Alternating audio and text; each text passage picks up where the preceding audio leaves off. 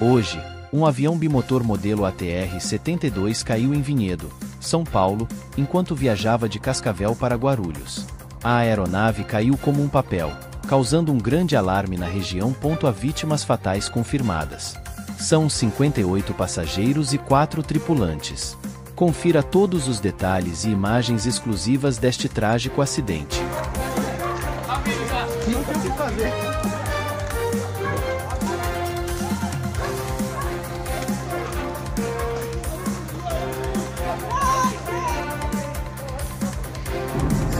Rapaziada, ó o avião caindo, mano.